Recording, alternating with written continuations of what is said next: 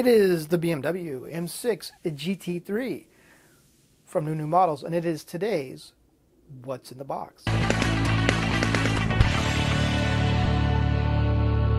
Hey guys, welcome to another What is in the Box, and today we are taking a look at the BMW M6 GT3 kit from NuNu Models. Now this is going to do the 2017 Zurich 24-hour race for Team Falken.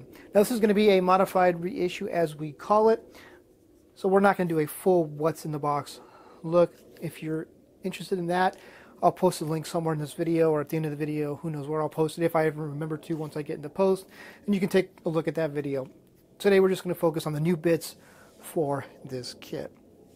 Now this is basically the difference between this one and the first issue is going to be those fender vents that you see there. Which means this is going to be able to let us build for some of the 24 hour races, some of the races that require the fender vents.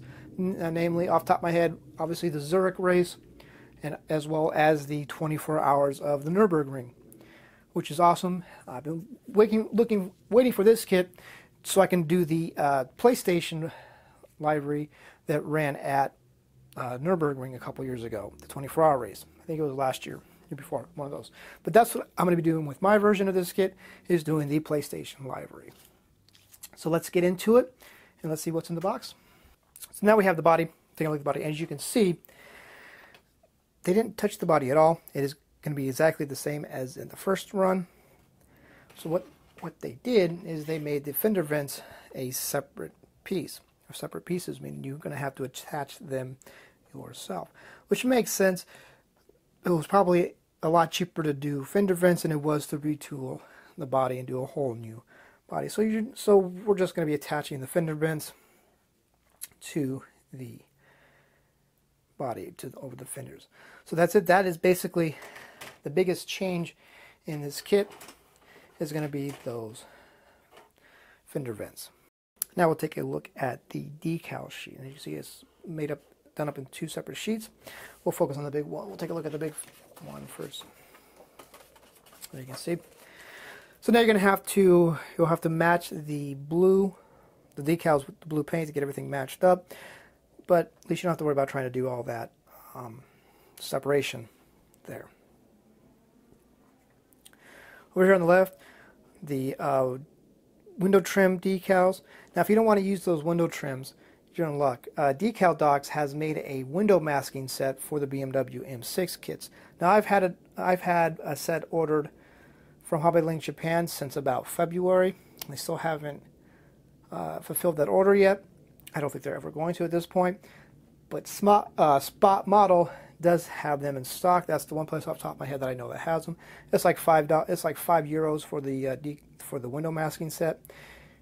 Just keep that option in mind if you don't want to use these and try to do it um, yourself. So that is that decal sheet, and we'll take a look at the rest of this. this so as you can see there, you have some choices of three different races and whatnot. I believe you can use the ROWE stuff on the first version of the Team ROWE kit. Don't quote me on that. Please, I'm GT racing is not my strong suit. My knowledge base is very minimal. I still love the I still love GT racing. I just don't know a lot about it and the teams and the different races and kind of gets confusing. But there you have your three choices there.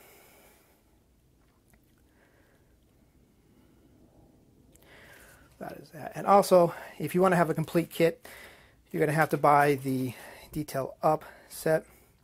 This one does have um, correct color carbon fiber decals this time. In the first version they ran, the carbon fiber decals were more gray. These are more black. I haven't even opened this up yet. It actually just literally got delivered 20 minutes ago, uh, just before I started having lunch.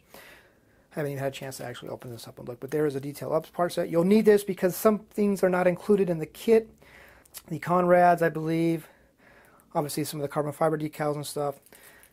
So you will need this if you want to have a full, complete kit. I think that is going to wrap it up for this. What's in the box for this for the BMW M6 GT3 kit from New Models for the Falken 24 Hour of Zurich race. There's plenty of uh, aftermarket decals for this kit if you don't want to build the Falken livery uh, version. So on that note, guys, thank you so much for watching. I'll see you next time.